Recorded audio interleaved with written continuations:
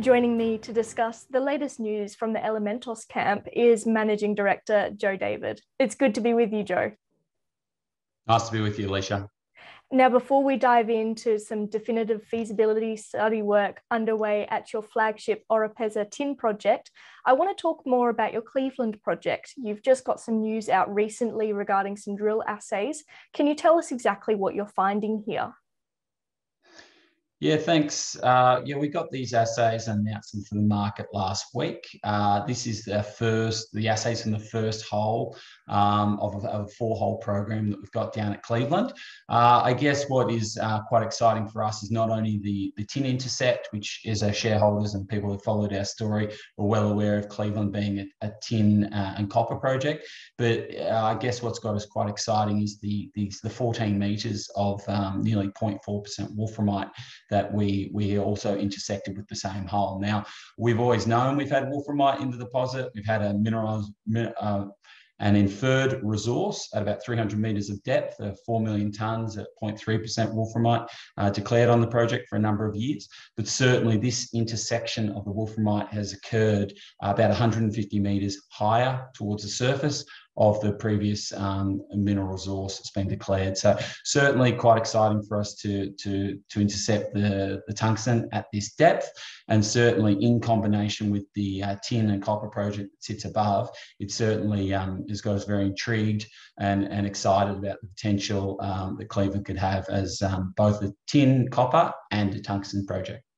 Now, our viewers may be familiar with minerals like tin, tungsten, and copper, but wolframite is something that they may not know much about. Can you tell us why finding this mineral is significant?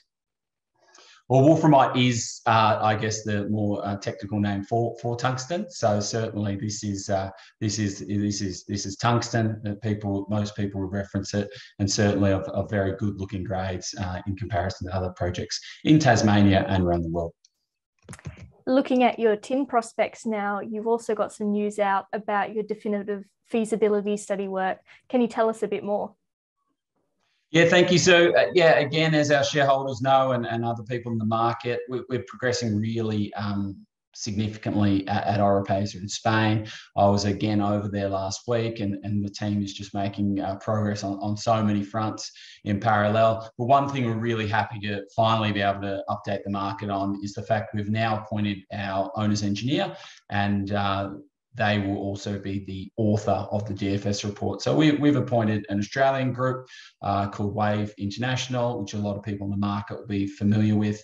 They're a diversified engineering firm, and, and certainly uh, their study team, who we've engaged very uh, much across uh, developing DFS studies uh, and taking those DFS studies through internet, independent technical uh, analysis by the independent experts uh, to support bank financing. So we've got a really good team there. Uh, the core of that team is based out of Brisbane, like ourselves, which is great, makes it a very uh, good working relationship. But additionally, they've got a lot of um, expertise in, in European projects. And for us, having the Oropesa project in Spain and obviously being within the EU and the EU's current focus on developing raw material projects within their own borders, uh, having the Wave team on board with all that experience in Europe is is extremely um, extremely helpful. Now, as work as this and your other project ramps up, I understand uh, Morgans has initiated research coverage for your team. Can you tell us a little bit about what they've reported here? Yeah, hey, well, I guess the headline is Morgans have, have initiated on us. So it's absolutely fantastic to have, you know, a big um, national uh, stockbroking firm uh, covering the Elementos story. Uh, they've initiated uh, with a price target of, a, you know, dollar and one cent, which is, you know, materially higher than our current share price. So really nice to get that, you know, deep um, analysis that Morgans uh, brings uh, onto the Elementos story. And certainly, um, I guess, the confidence they've got in, in not only the team, uh, that's delivering it, the project, but also, um, you know, they see a, a pretty attractive price target uh, compared to the current market price. So really good to have that independent um, research out on Elementos. So it's been a few busy weeks in terms of news flow for Elementos. What can investors expect in the coming months?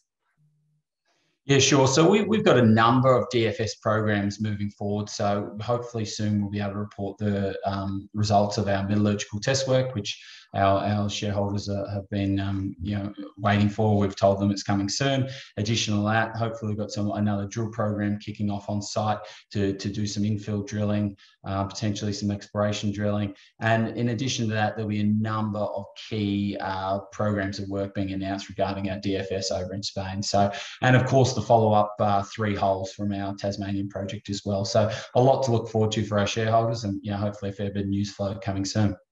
Well, we look forward to hearing what's next for your projects and your portfolio. Joe David, Elementos Managing Director, thank you for your time. Thank you. Great to be with you guys.